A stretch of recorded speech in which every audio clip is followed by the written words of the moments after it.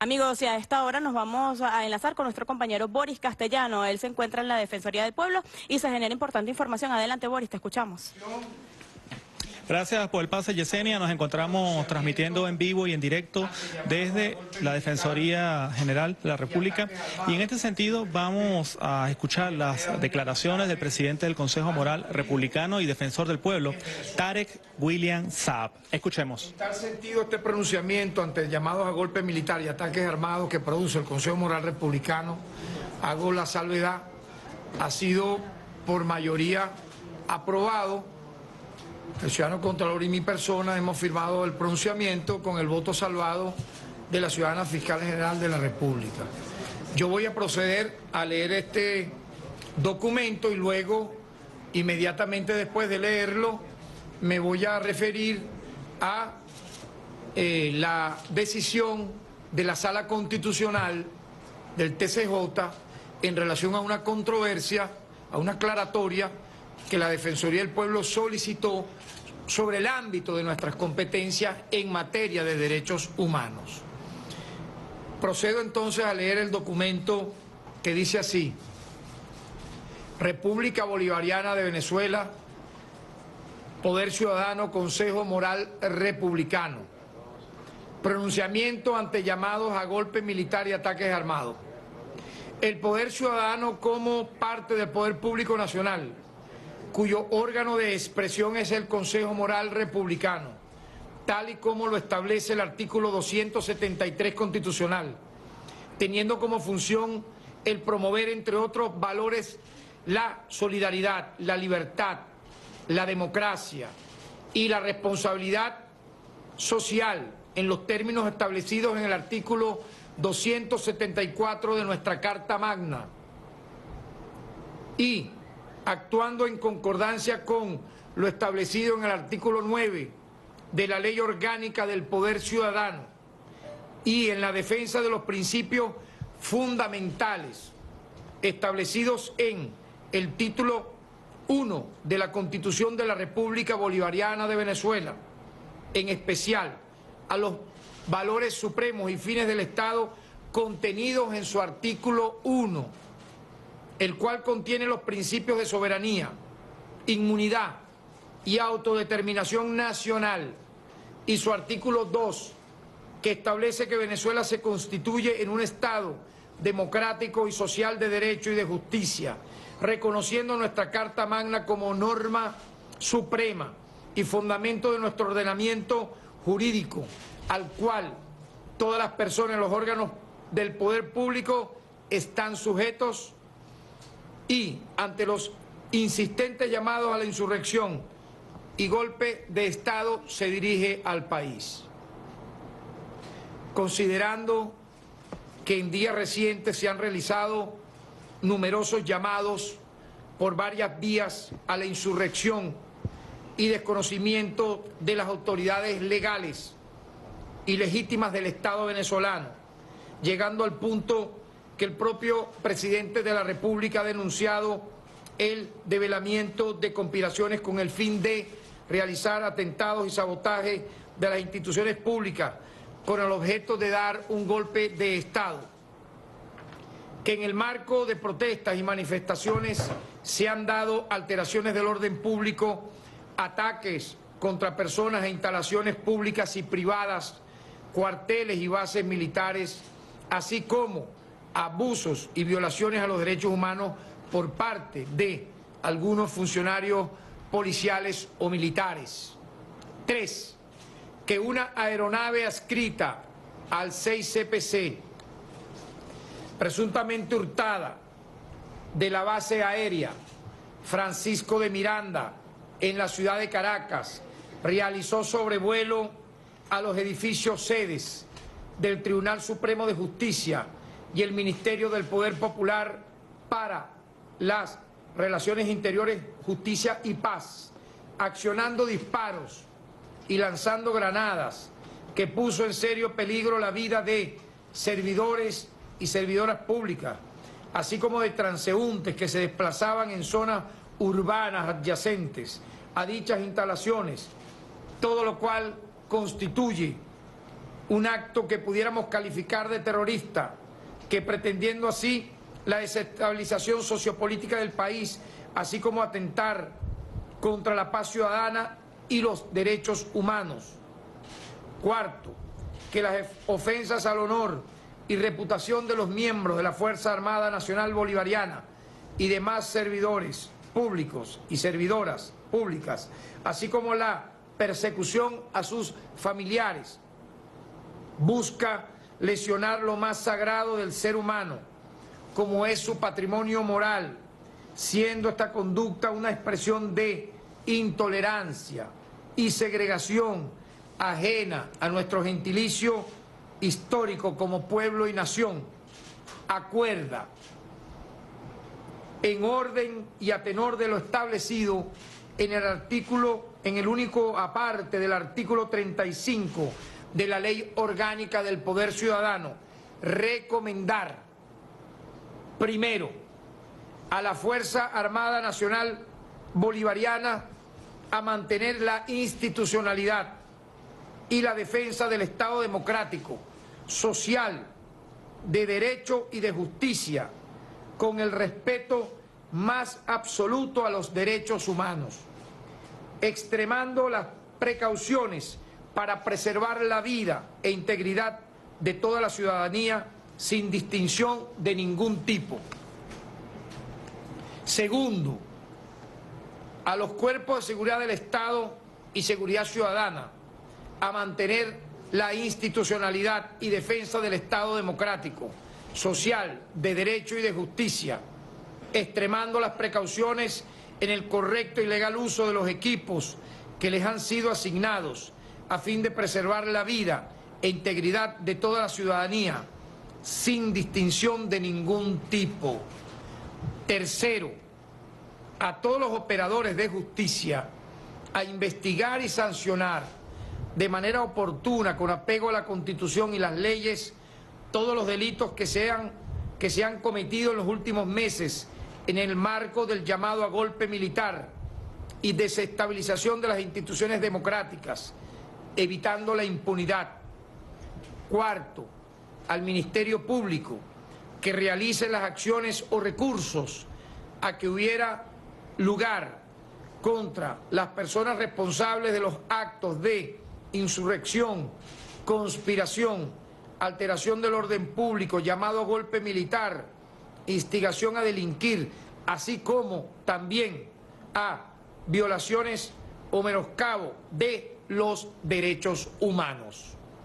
Como se podrá observar, estamos hablando de un marco jurídico, varios considerando y cuatro recomendaciones claras y bien delineadas a los diversos órganos de justicia en razón de prevenir, en razón de sancionar, en razón de evitar que efectivamente estos llamados a golpe militar, y ya vimos lo que ocurrió el día de ayer, un hecho sumamente grave, un acto y una acción terrorista que colocó en peligro a decenas de ciudadanos y ciudadanas venezolanas y venezolanos que, estando en dos sedes de poderes públicos nacionales, el TCJ y el Ministerio de Relaciones Interiores de Justicia y Paz, fueron objeto, en el caso del Ministerio de Relaciones Interiores, de 15 disparos de fusil automático largo y en el caso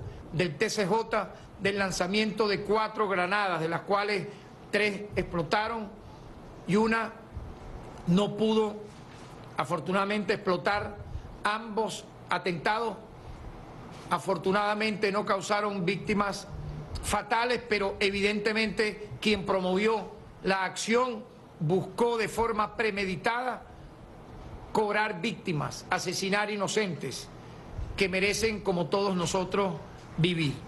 En tal sentido, aprovecho, como ha sido del conocimiento público y en vista de reacciones que han ocurrido en las últimas horas, referirme a una histórica sentencia que ha emitido la Sala Constitucional del Tribunal Supremo de Justicia en ponencia de su presidente, doctor Juan José Mendoza.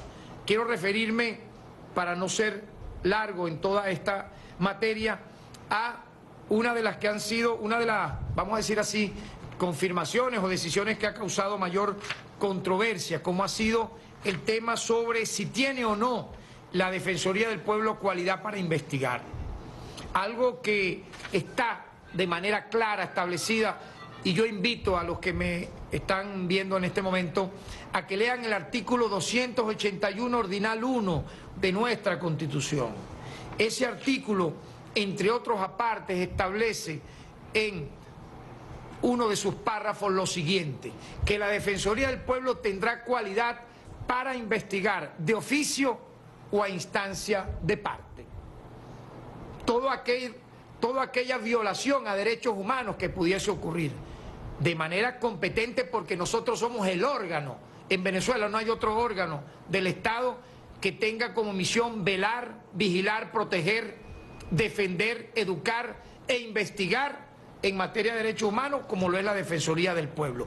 Eso no significa para nada la aclaratoria de esta controversia como alguna gente de forma tendenciosa en medios públicos, eh, en redes públicas, en medios de comunicación, eh, comunicacionalmente públicos y notorios, han dicho que esta decisión o la solicitud que hicimos es para, en este caso, entrar en una especie de conflicto con el Ministerio Público. Falso de toda falsedad, todo lo contrario.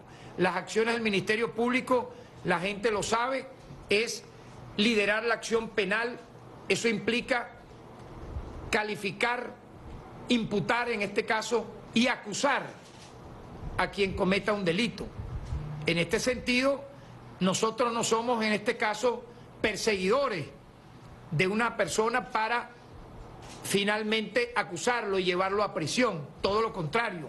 La Defensoría del Pueblo actúa muchas veces para mediar en función de la libertad de muchas personas que consideramos en su caso que merecen dichas libertades. En otros casos, en relación a quienes han violado derechos humanos, obviamente debemos investigar estos hechos.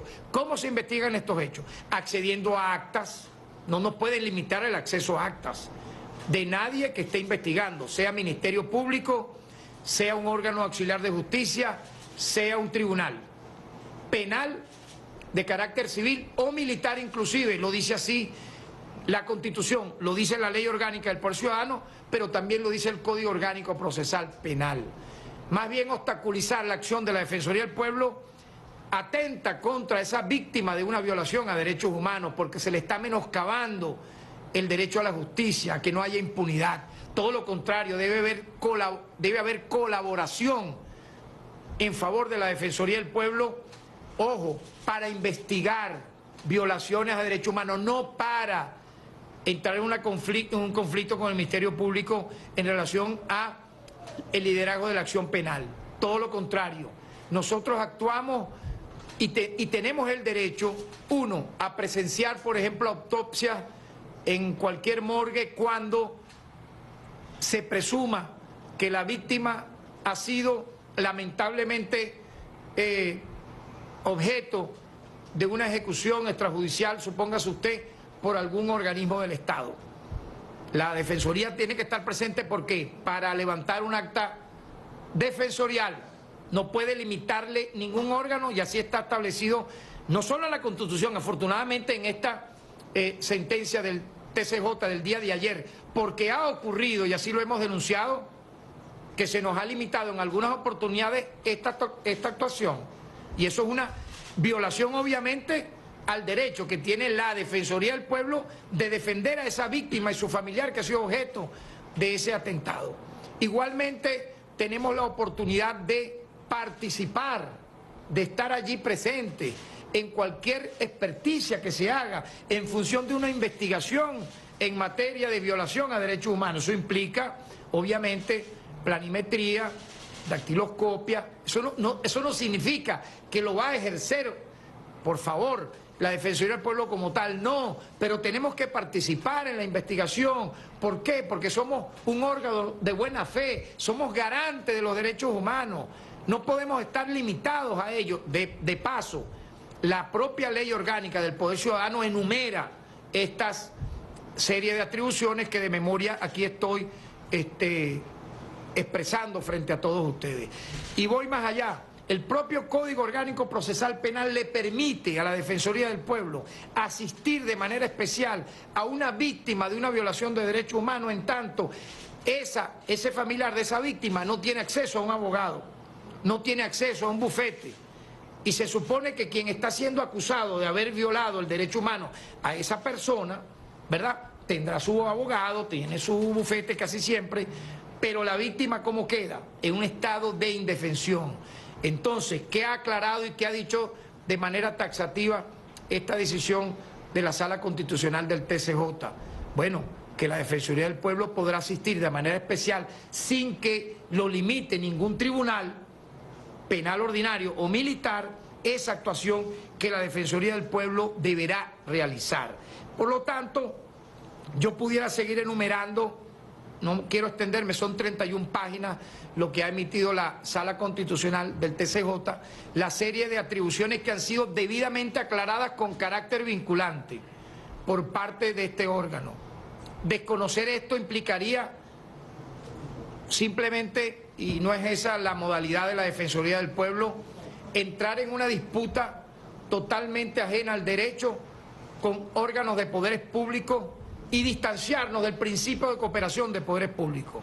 Todo lo contrario, nosotros colaboramos para que se esclarezca y se llegue a la verdad en cualquier violación a derechos humanos. Lo que hemos querido es que dichas competencias aclaradas como han sido, y voy a leerlas si me permiten, la última parte que es muy corta, con esta decisión histórica de la Sala Constitucional del TCJ que dice esto de la siguiente manera. Se declara competente para conocer del recurso de interpretación constitucional incoado por el ciudadano Tarek William Zapp en su carácter de defensor del pueblo, el cual admite, declara la causa urgente y de mero derecho, resuelta la interpretación que nosotros solicitamos, invito a que lean esos artículos, 49, 280, 281 y 285 de la Constitución de la República Bolivariana de Venezuela en relación a lo dispuesto en los artículos 2, 4, 15,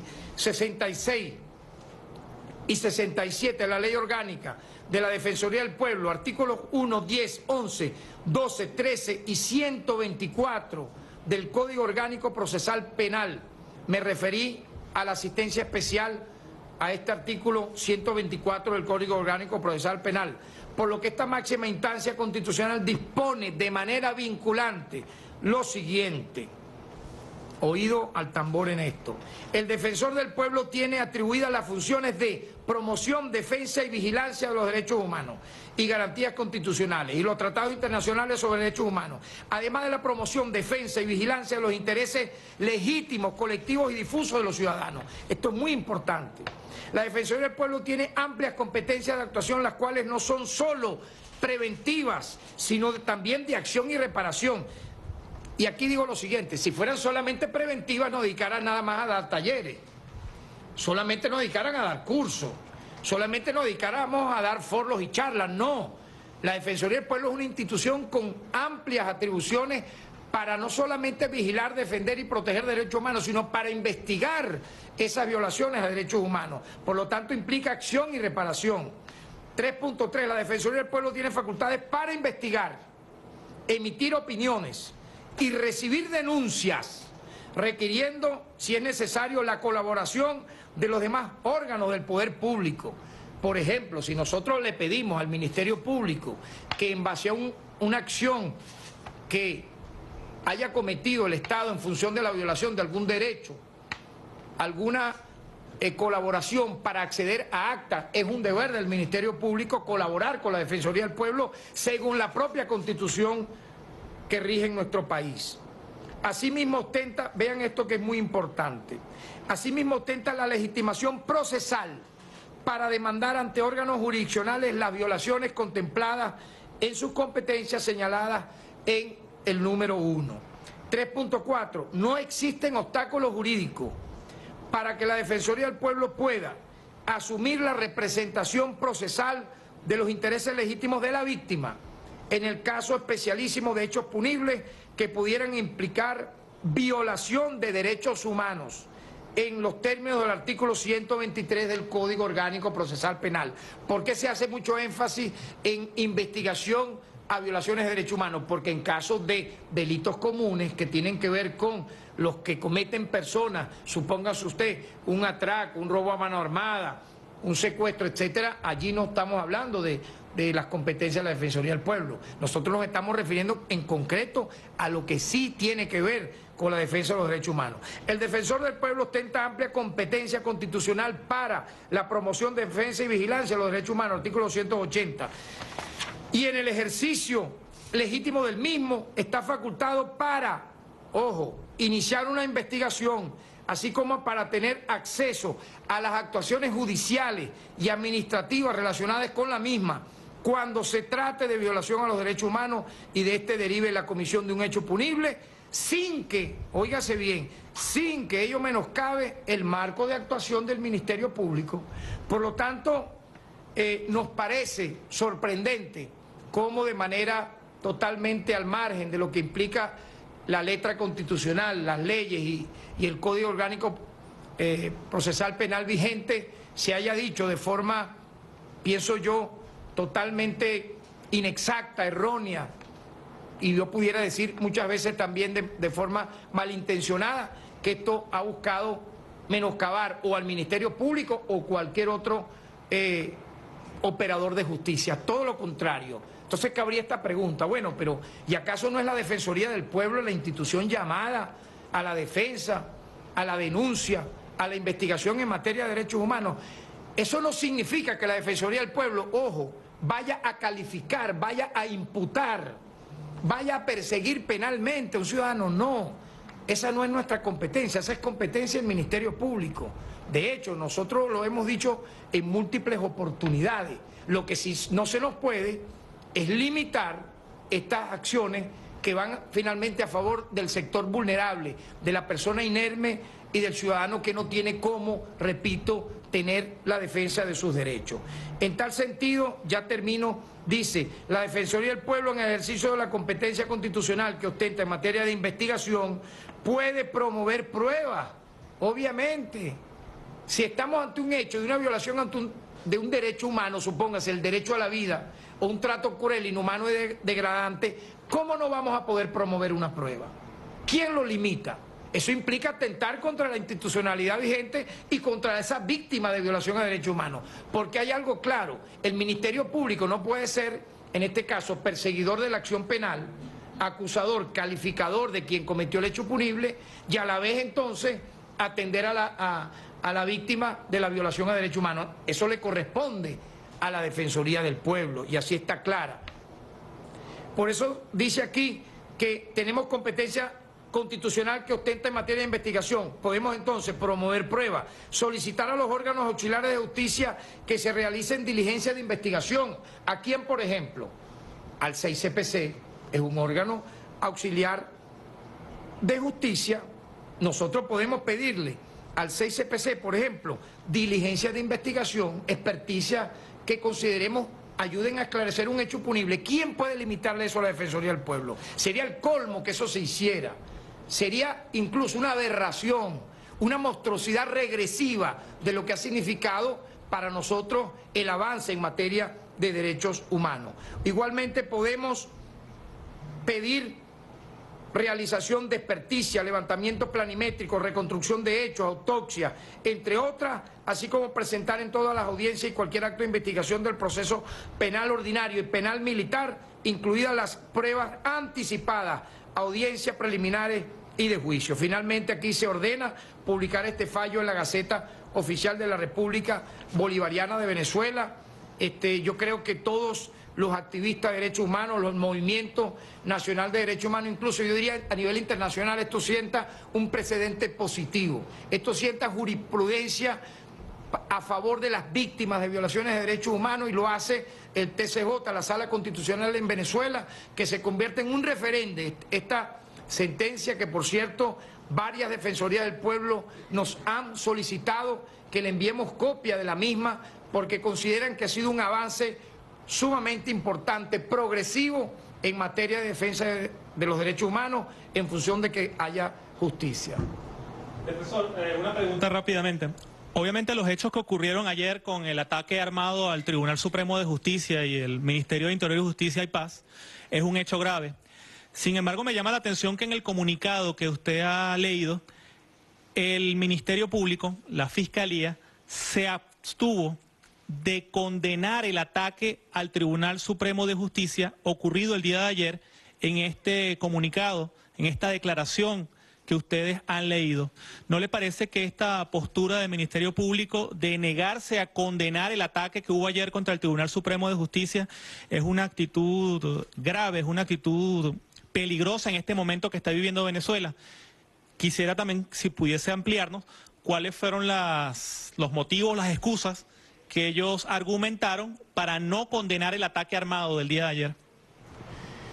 Bueno, sí, efectivamente, este es un órgano colegiado que se pronuncia, como ustedes ven ya, esto es un documento oficial del Poder Ciudadano, que saldrá en Gaceta Oficial para su publicación. Y ha sido eh, producido el mismo en función de un debate. Hubo una sesión que duró aproximadamente, creo yo, un poco más de dos horas, aproximadamente unas tres horas de un debate cordial, institucional, entre titulares de organismos diversos como Contraloría, Fiscalía y Defensoría. Y de forma, con mayoría, pues hemos llegado a este pronunciamiento que considero importante y sano para la democracia venezolana. La razón que alegó el Ministerio Público de salvar su voto es que en razón de estar investigando eh, la acción ocurrida el día de ayer, se abstenía de suscribir el pronunciamiento. Eh, no entro, como tú bien sabes, Boris, en controversia con nuestros colegas en función de por qué sí o no debió haberlo hecho. Yo creo que lo más, la señal positiva que el mundo y Venezuela está hoy recibiendo es que la mayoría del Poder Ciudadano ha emitido un pronunciamiento claro, inequívoco sobre el tema de la violencia, sobre el tema del asedio a, bases militares, a violaciones a derechos humanos, también aquí lo hemos hablado, este, a manifestaciones que implican alteración del orden público y llamados a levantamientos militares. Eso ya no es un secreto, eso está ocurriendo casi como deporte. Y nosotros venimos de una reciente acción como fue el golpe de Estado que lideró una élite empresarial, una élite militar y financiera y mediática el 11 de abril, donde una persona autócrata que no fue electa por nadie en contra de la Constitución leyó un papel que tal vez algunos dicen que estaba en blanco y se autoproclamó dictador y luego disolvió todos los poderes públicos y luego de facto derogó la Constitución del 99 y quiso devolverla a la del 61. Hubo muertos, hubo heridos, hubo incluso intento de magnicidio contra el presidente Chávez. Mi persona, teniendo inmunidad parlamentaria, eh, se me sometió no solo al escarnio público, sino un fiscal, por cierto, del Ministerio Público, dijo que me iba a, llevar a un tribunal militar y me iba a acusar de rebelión militar, etcétera. Por cierto, eh, gente que todavía labora en, en esa institución los fiscales que me acusaron, que me quisieron llevar a ese juicio. En todo caso, yo creo que la señal que se da al país es inequívoca. El Poder Ciudadano no participa de llamados a golpe militar, a insurrecciones, a desconocimiento de la autoridad vigente, a deslegitimar las instituciones democráticas. Busca más bien el diálogo. Somos un Consejo Moral Republicano que atiende a valores como la ética, la educación, la promoción de la paz y en este sentido tiene expresa corrección este comunicado que hemos leído. Yo, si me permite, Boris, en lo personal hubiera querido que se hubiese aprobado por unanimidad, pero se aprobó por mayoría y tiene la debida fuerza y contundencia para ser publicada en Gaceta Oficial y así hemos querido transmitirlo ante el país. Venezuela no está para golpes de Estado institucionales, de un poder contra otro en el sentido de implosionarlo o decapitarlo para de allí producir un derrocamiento de la democracia, como tampoco para un golpe militar que implique derramamiento de sangre. Nosotros saludamos que este año existan dos grandes eventos electorales, uno de carácter nacional, Asamblea Constituyente, otro de carácter regional, elección de gobernadores. En ambos eventos hay fechas, hay cronogramas, no solo de inscripción de candidatos para la ANC, también para gobernadores. La primera semana de agosto será la inscripción o preinscripción de candidatos a gobernadores. Eso es un desafío para la democracia quienes le den a espalda a estos eventos, bueno, ¿qué quieren? Que en vez del voto, que es un derecho humano, sean las que hablen las armas, las que hablen la violencia, o como lo que ocurrió ayer, que una persona con intenciones homicidas haya disparado, haya lanzado granadas contra edificaciones del Poder Público Nacional. Eso es incitar al odio. Yo quiero hacer un llamado sobre este tema. Los delitos de odio, la propaganda para exterminar y linchar a una persona porque la confundieron con tal o cual personero del gobierno. Debe cesar esto ya. Una condena unánime de todo el país, de todos los sectores de la nación, porque vean en un lugar público a un funcionario o a alguien que se parezca a un funcionario, acorralarlo una horda de personas que terminan en muchos de los casos golpeando hasta matar y quemar a ese ciudadano o esa ciudadana. Venezuela debe, de forma unánime, rechazar los delitos y crímenes de odio, debe rechazar la violencia, debe rechazar los golpes institucionales, los golpes militares. Venezuela no es Honduras, Venezuela no es Paraguay, que vivió golpes de Estado institucionales con graves afectaciones a la democracia, como tampoco queremos que nos ocurra lo que ocurrió en el Cono Sur, en Argentina, en Chile, en Paraguay, en los años 70 y 80, en Uruguay, con los exterminios, desapariciones forzadas, o en la época franquista de España, que dejó como saldo casi 200 mil desaparecidos que las instancias judiciales españolas no han querido reabrir y cuando lo quiso hacer el juez Baltasar Garzón lo expulsaron este, los franquistas que todavía existen allá del Poder Judicial. No, no queremos llegar a ello y por eso creo sano, es oportuno que en base a los hechos ocurridos el día de ayer y todos estos llamados a sedición, el Poder Ciudadano sea una voz de equilibrio institucional, de decir, paren ya estos llamados, estos atentados hacia nuestra democracia, que podrá tener imperfecciones, lo asumo, pero también tiene virtudes que entre todos podemos resolver.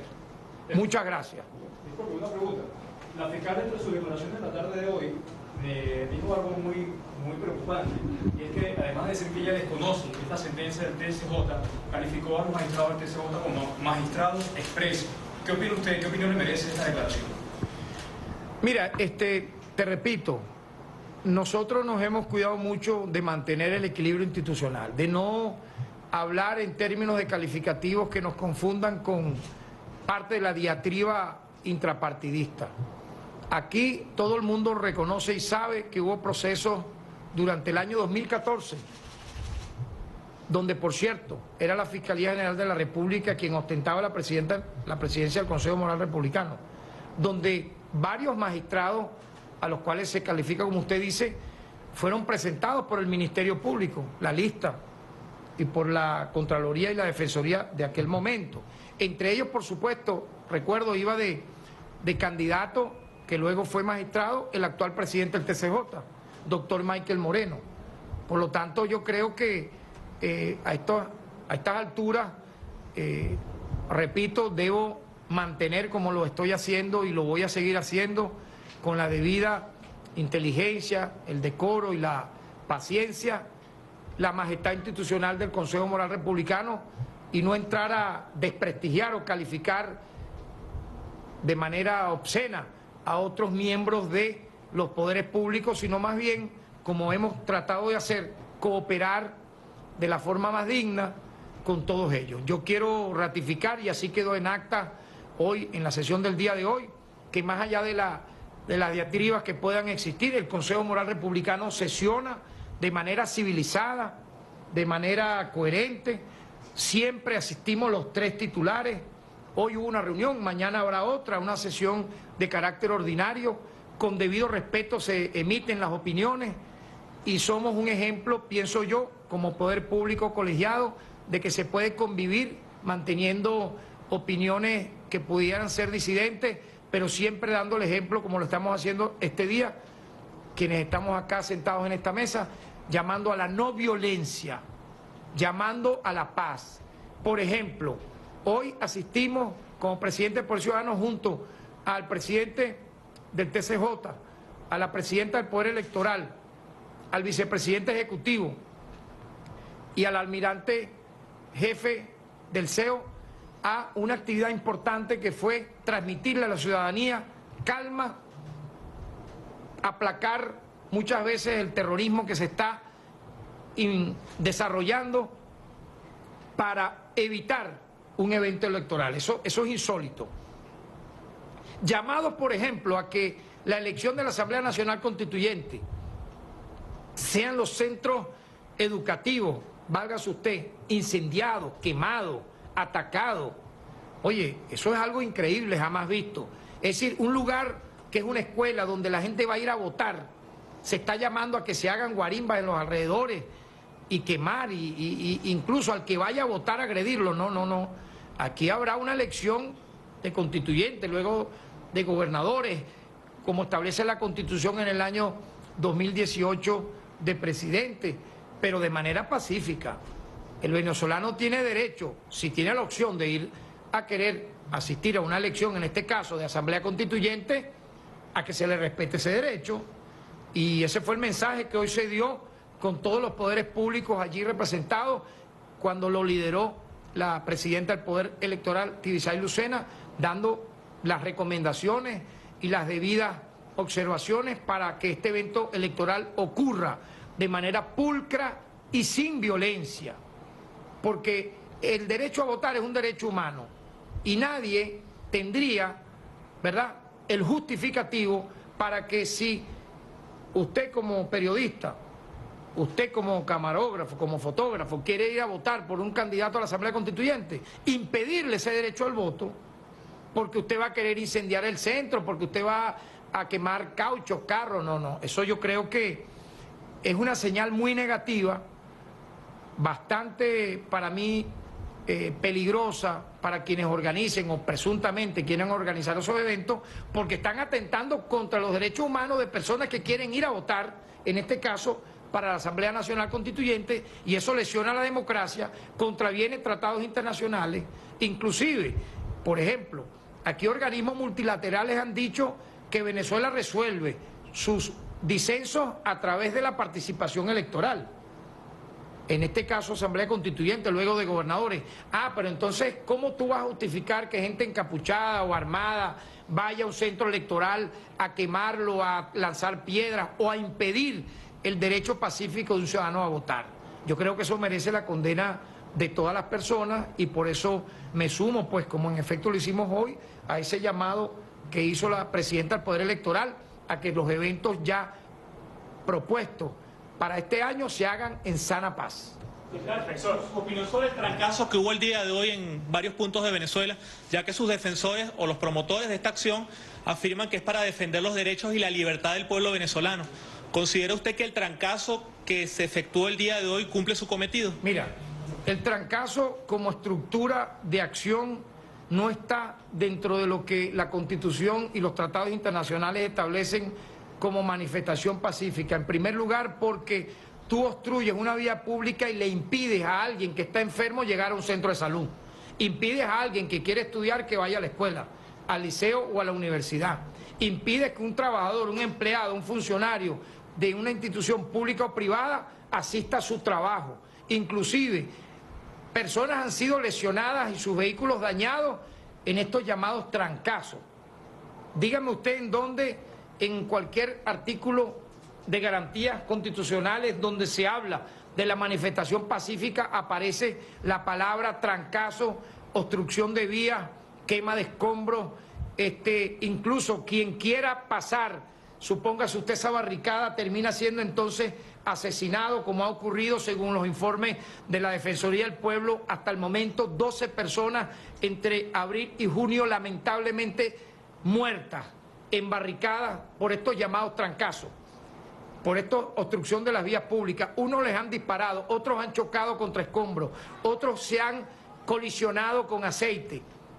Yo creo que mi llamado a la atención de que la protesta pacífica, con un documento, con una reivindicación, con una tarima donde se le dirija a una masa, a un discurso, se le presente una propuesta, sea lo que se establezca y no esto que, les repito, haga una encuesta. Yo invito a que cualquiera en este momento haga una encuesta nacional en las 10 principales o 15 principales capitales de Estado del país y pregunte cómo se siente el ciudadano o ciudadana luego de una acción como esta llamada trancazo. Si está feliz porque no pudo ir al trabajo, sus hijos no pudieron ir a la escuela, no pudieron ir a un hospital, a un centro de salud, porque un grupo de personas le trancó la posibilidad del derecho humano al libre tránsito.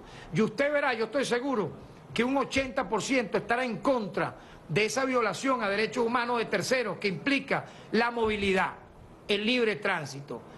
Yo diría, para final, finalizar, Venezuela no es Ucrania. Yo creo que por allí quienes han pretendido reeditar lo que pasó en Ucrania, en Venezuela, están haciéndole un grave daño a sus propias bases, en este caso militantes de sus organizaciones, porque las están llevando por un camino totalmente negativo y violento. Y a la gran mayoría los están prácticamente sitiando en sus propias residencias, lugares de trabajo y centros de salud. Ese no es el camino para Venezuela y por eso pues nos hemos pronunciado de esta manera. escuchamos entonces las declaraciones del defensor del pueblo Tarek William Saad y presidente del Consejo Moral Republicano a propósito del rechazo de este poder público venezolano al ataque armado realizado el día de ayer contra el poder judicial y también el Ministerio del Poder Popular de Interiores, Justicia y Paz. Volvemos inmediatamente a los estudios con más información. Adelante.